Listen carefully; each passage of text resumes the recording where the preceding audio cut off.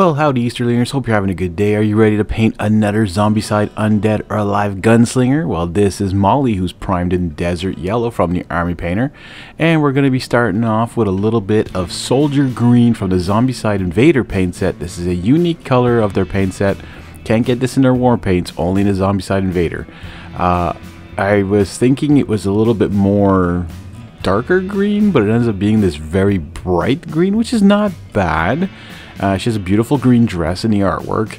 Uh, and we will put a shader on it later that will darken it down a little bit. Uh, so don't worry about that. And again, it covers up really well. Uh, I did have to put a second coat on certain areas. Uh, so, but that's okay because then you don't want to lose any of the details. So the the least paint you put on, uh, yeah. And now we're gonna move on to the next color, which will be um, crushed skull. This is from the Zombicide Green Horde paint set, but I believe this is hemp rope from their uh, War Paints range, so this is not a unique color. Uh, it just came in the Green Horde set that I bought up a couple years ago. And again, after many years, uh, this paint still hasn't dried up, still comes out looking really good. Uh, so we're doing it for the like the wrap around her, I guess her big bow there, and her um, her sleeves on her vest, and as well as the bonnet on her head. But there's gonna be another part of the bonnet we're gonna color in later on with another color. But this is just to give it a base, so it'll be easier to color over later.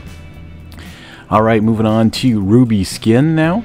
This is from the Skin Tones. It's a very pinkish color, but she has a very, very pale skin in the artwork.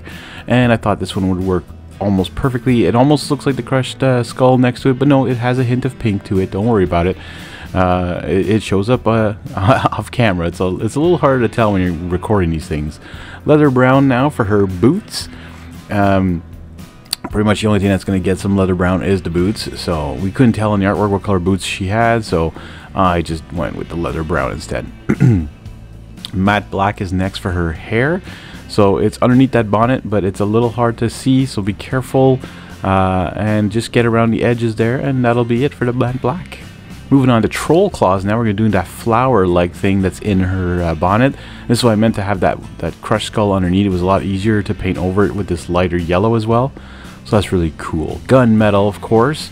We're going to be using this on that like sawed-off shotgun she's holding and the pistol she's holding. Uh, good old six-shooter. Um, again, painting, a lot of times I don't use like speed paints and that on top of the desert yellow, so that's why I just use this. Military shader. Uh, we're doing this on the entirety of the miniature now, and you're going to see now that, that the green is going to become a little bit darker, become more of a, a forest green-like color, a little bit better, a little bit more what I wanted. Uh, military shader is a great uh, shader for greens and for even like some light colors, like you can see like that, that bow and all that. It becomes like a dirtyish green color, which is what she had in the artwork as well. Some soft skin wash now just for the face and the hands. Just give a little bit more depth to that skin. And there you have it, folks. Molly the Gunslinger is ready to take on the Wild West zombies. I want to thank you guys for watching. I hope you're enjoying these videos. Hit that like button. And if you're new to the channel, hit that subscribe button. And we'll see you all in the next one.